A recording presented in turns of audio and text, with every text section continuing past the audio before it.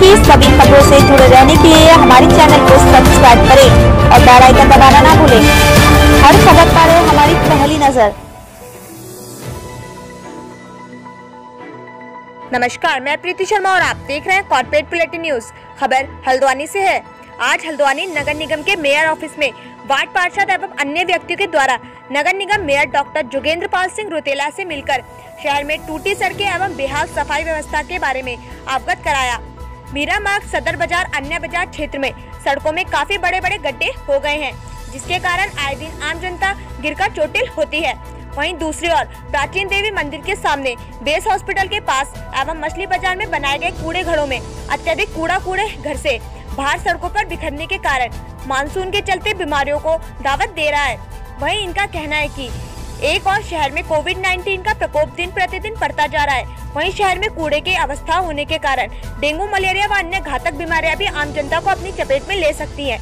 जिसके बाद नगर निगम मेयर का कहना है कि कूड़ा घरों में अत्यधिक कूड़ा पड़ने के कारण बाहर सड़कों पर फैल जाता है, जिसका निवारण अतिशीघ्र किया जाएगा। वहीं दूसरी ओर, मेयर का कहना है कि बरसात के मौसम में कहीं कहीं वाटर लॉन्गिंग होने के कारण सड़कों में गड्ढे इत्यादि क्षतिग्रस्त हो जाते हैं और साथ ही पथ प्रकाश की व्यवस्था भी बदहाल हो जाती है। मानसून की बारिश के चलते जिसका समाधान नगर निगम के द्वारा अतिशीघ्र कराया जाएगा।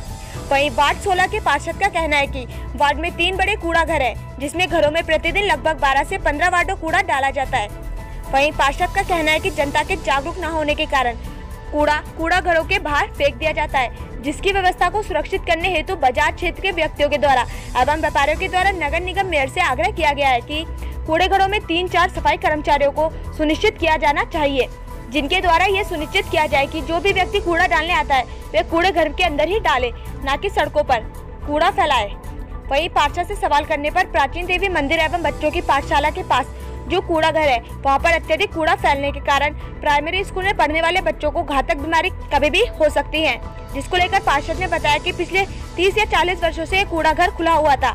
इनके प्रयासों के द्वारा कूड़े घर में बाउंड्री वॉल कराकर गेट लगा दिया गया है। पार्षद का कहना है कि हमारे अथक प्रयासों के बाद कूड़े की समस्या का निदान काफ़ी हद तक सही कर दिया गया है। बाकी जो शिकायतें नगर निगम जोगिंदर पाल सिंह रुतेला को बता दी गई हैं, जिसमें मेयर का कहना है कि जल्दी वार्डो की समस्या एवं पथ प्रकाश बाज़ार क्षेत्र में सड़कों में गड्ढों की व्यवस्था जल्दी दुरुस्त करा दी जाएगी। आप देख रहे हैं हल्द्वानी से अतुल अग्रवाल की रिपोर्ट। फ़िलहाल खबरों में इतना ही। बाकी खबरों के लिए देखते रहिए कॉर्पोरेट बुलेटिन न्यूज़ नमस्कार।